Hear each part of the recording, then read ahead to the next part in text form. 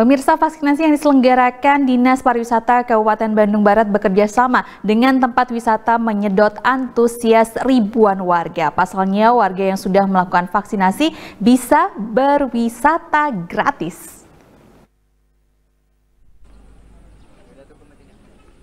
Untuk menyedot antusias warga melakukan vaksinasi, Dinas Pariwisata bekerja sama dengan tempat wisata di kawasan Lembang, Kabupaten Bandung Barat, menggelar wisata vaksin.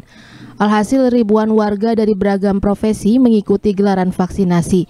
Selain diberikan fasilitas vaksinasi yang nyaman, ribuan warga tersebut bisa memanfaatkan tempat wisata untuk berwisata gratis. Tidak sedikit warga yang setelah melakukan vaksinasi bisa berkeliling menikmati keindahan alam di tempat wisata dan bisa melakukan swafoto di pinggir danau serta mencicipi kuliner sehingga vaksinasi yang biasanya terlihat panik dengan vaksinasi sambil wisata membuat rileks dan menumbuhkan imunitas tubuh. Peserta vaksin mengaku nyaman dengan pelaksanaan vaksinasi di kawasan wisata. Selain tidak membuat tegang, vaksinasi di tempat wisata sekaligus dimanfaatkan untuk mencari udara segar. Uh, enak ya, terus uh, dari segi segi apa?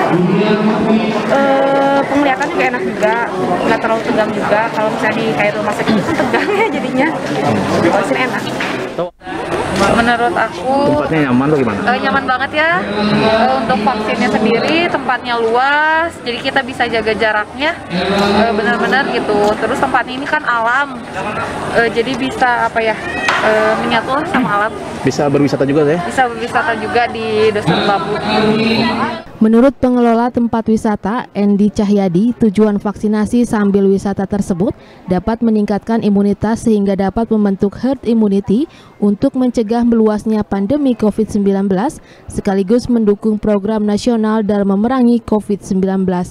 Vaksinasi tersebut disambut antusias ribuan warga. Animonya gimana?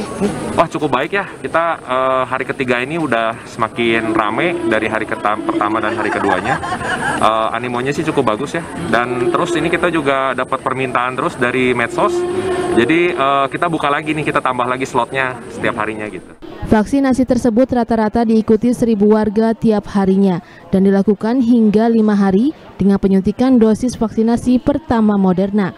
Diharapkan dengan adanya vaksinasi di tempat wisata bisa meningkatkan geliat wisata di kawasan Lembang yang sudah berangsur-angsur dibuka pemerintah. Algi Muhammad Gifari, Bandung TV.